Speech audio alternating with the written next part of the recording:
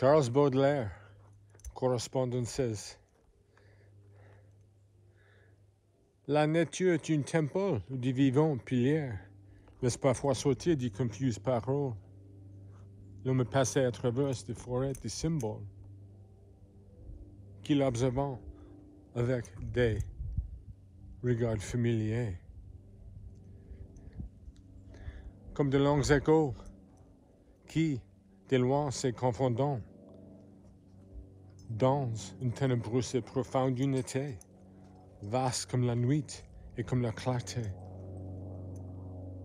Les parfums, les couleurs et les sons se répandant.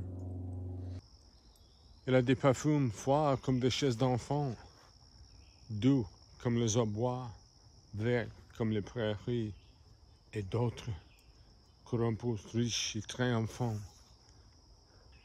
ayant l'expansion des choses infinies, comme l'ombre, les muscles, les besoins et l'ensemble, qui chantons des transports de l'esprit et des sens.